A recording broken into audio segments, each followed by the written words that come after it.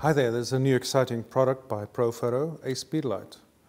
What's exciting about it is it fits in seamlessly in the whole Profoto ecosystem. So if you've been using Profoto gear, this is great. It works as a transmitter. The air transmitters will fire this, so you've got a nice off-camera speedlight with your existing Profoto gear. And you can use this as an on-camera flash, bounce flash, but it also will trigger any Profoto lights. You've got a few channels here and you can control it, manual, TTL.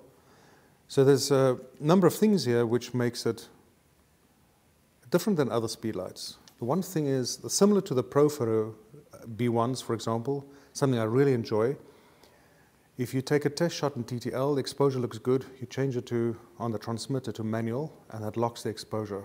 Brilliant. So if you have a group photograph that you're doing, something like that, and you need a specific exposure, you have lights a specific distance, you do a test shot, looks good, lock it, boom, you're ready. There's a switch on the side, you go from TTL to manual, you can lock your exposure. Then the other features that are really nice, it works with magnets or the, uh, any additional attachments clip on with magnets. So you've got a wide angle diffuser, you've got the dome on top if you want to do an omnidirectional bare bulb look. You've got gels as well. Same thing. They fit in with magnets. Boom. So you can add gels quickly or take them out quickly. And then what I really like, this is now from somebody who, who uh, mostly shoots with on-camera flash with events. They have a white bounce card or turn around, you've got a black flag. Profoto, nice one, black foamy thing. And again, it fits with magnets. One thing I found though with events is it tips off easily, so you've got to be a little careful. It, it pops off easily because of the torque that you have on the black flag, but very nice. And then also you have, if you are in a place where you can't bounce flash, Profoto went all the way and they made a bounce what do you call it, a soft bounce, a bounce thing, a little soft box. Again, clips on with magnets, yay. So that in short is it. It's a very well thought out speed light. What I also appreciate about this flash is the menu system is really obvious. Without even reading the manual, you can go in and the menu will just be very obvious to you what everything does. To switch between TTL and manual, you have the slider switch. And the beauty of the way that Profoto implements TTL, you can get your basic exposure with a test shot and then lock it in manual. The menu is simplicity itself. You switch it on and you unlock it. Boom, there you go. So I'm going to go to TTL mode. To access the menu, you hit the center button here, and then you've got your whole menu on two screens. For example, your modeling light, whether you want at minimum, maximum, or in proportion. A red light on or off, you can uh, switch your head on and off.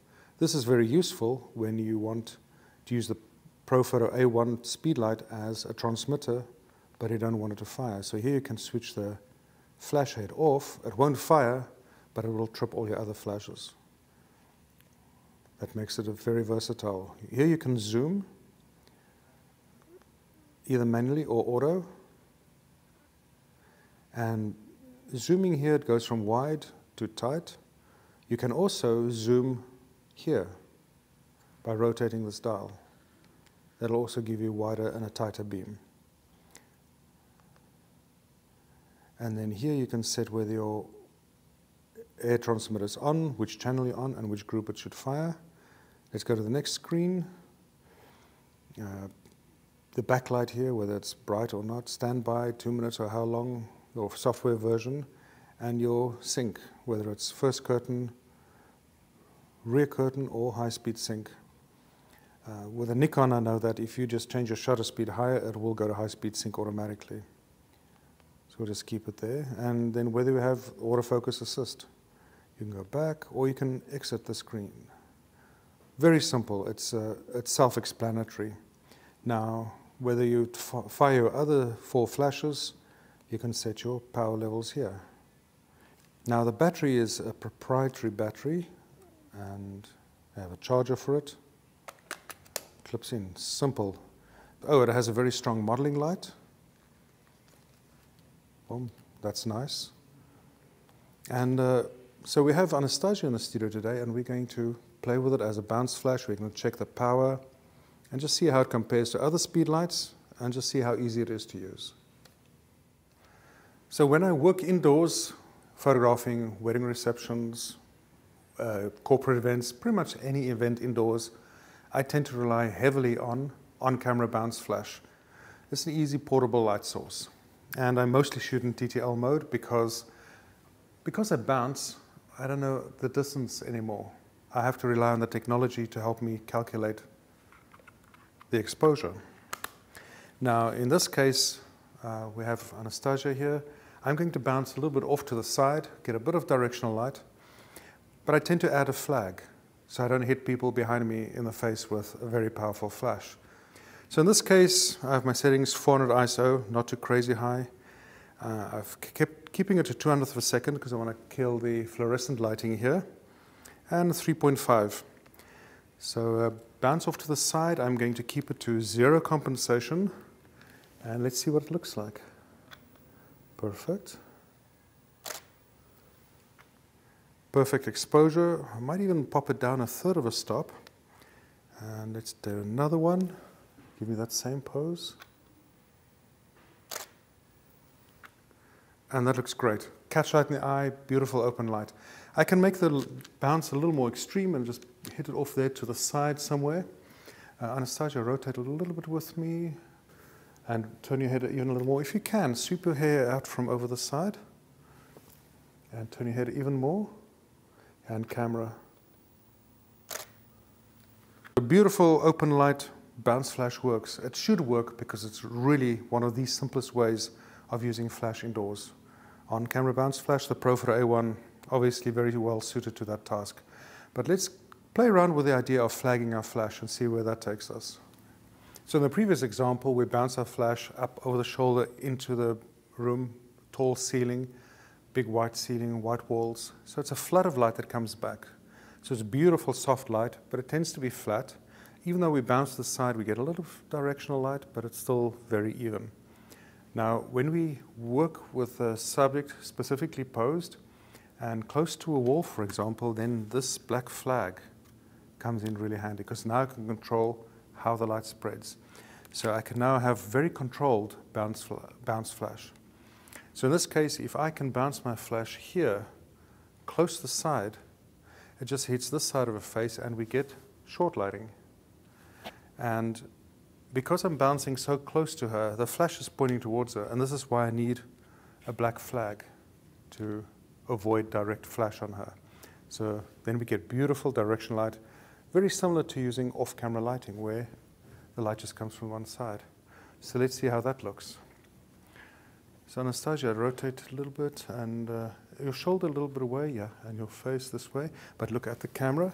And I'm going to hit, try and hit the wall right here so it spills on the side of her face. And camera.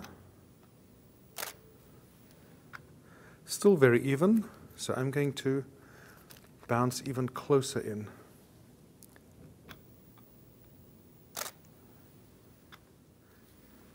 And that's beautiful. Now we get short lighting, more light on the short side of the face. The side of the face turned to the camera has that gradient of light across. So I'm going to do a comparison shot and see what it looks like without the flash. Very little light that spills in, a little bit from the window, but most of the light we see on this image is from the bounce flash single on-camera bounce flash that looks like studio portrait lighting, simply because we have a black flag that we control how the light spills from the on-camera flash. Hi, so we're in Hoboken here now in an alleyway, so you can hear city noise going around.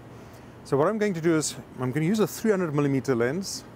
I'm going to be way off. I'm going to shoot and really compress the perspective in the background. But what I really want to show you is the Profoto A1 as the trigger. I've disabled the head, so this is not going to flash. It only acts as a transmitter for the B1. And then I'm going to use the usual air transmitter and fire the Profoto A1 here. Since we're a 250th f400 ISO, it's not crazy settings. we're not fighting really strong sunlight. The Profoto A1 is a speed light will be able to handle that.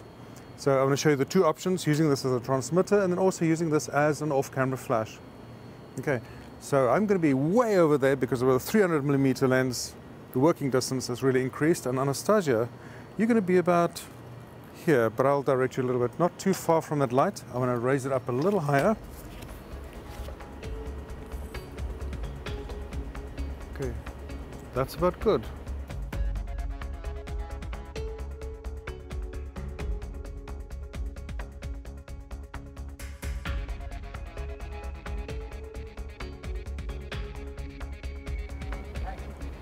Okay, so just bring your hands into play. There we go.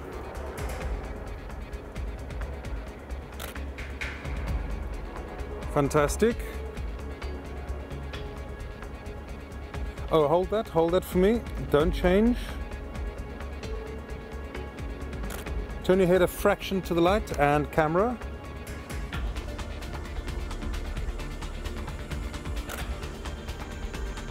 Absolutely stunning. Okay, Anastasia, over there, same place as before.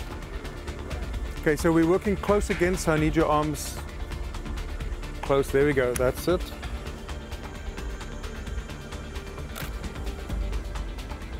Looks fantastic.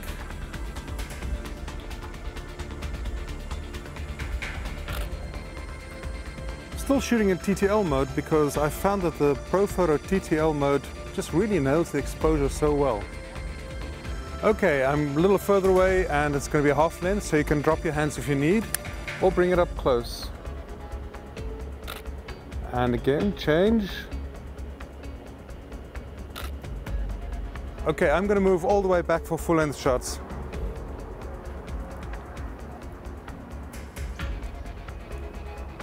Anastasia, move a touch over. Perfect, there you go.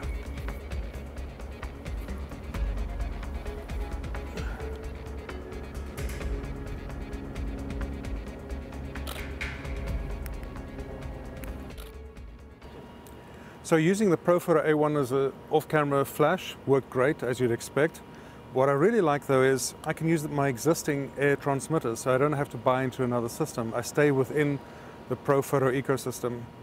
But what is really important to me is before I would use a Nikon Speedlight as a bounce flash indoors, then I would go do family photographs at a wedding and I'd have to take the Speedlight off and then put the transmitter on and rig up the B1. What I can do now is I can use this as my on-camera speed light. When I need to do formals with a Profoto B1, I just use this as my transmitter and fire the B1. And then back again indoors for whatever cocktail hour or reception, whatever it might be, switch the B1 on, or I can trigger in the background, but I use this as my on-camera speed light. So for me, it's a much more fluent transition throughout the day. Doesn't sound like much, but really it saves minutes, it saves the clumsiness of changing stuff. I just seamlessly work with this on my camera, as my on-camera speed light and or the transmitter. That's really beautiful. Okay, to play with a Profoto A1 flash with high-speed sync, I'm going to shoot with a 51.4 at 1.4 in a backlit scenario in the park. That will chase the shutter speed higher and we'll see how it goes. Now generally working in bright sunlight conditions, I wouldn't work with a softbox or an umbrella, but close proximity to our subject and working in a backlit situation and letting things blow out, we might get away with. We'll see how it goes. Okay, I'm going to shoot fairly close to you, so bring your hands into play. There we go. And the shoulder a little bit up, just keep that. Beautiful. That looks absolutely sensational.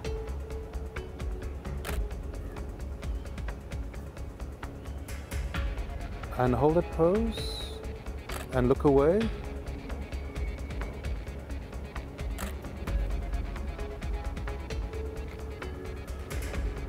Hold up pose and look at the camera.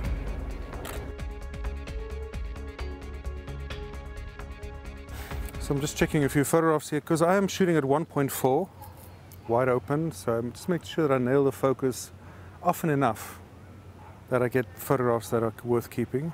But these look fantastic. The flash at full power just adds enough light. If I couldn't get enough light here, with the umbrella because I'm working fairly close proximity. If I couldn't get enough light from the speed light in the umbrella, I would go bare flash. But I do like a diffused light.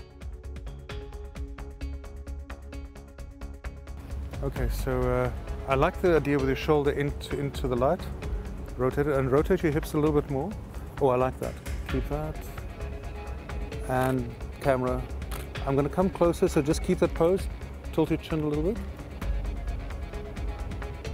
Open your shoulder touch more. And camera. Absolutely looks stunning. I love it. The flash is really impressive. The ease of operation is just phenomenal. The menu system is very easy to understand.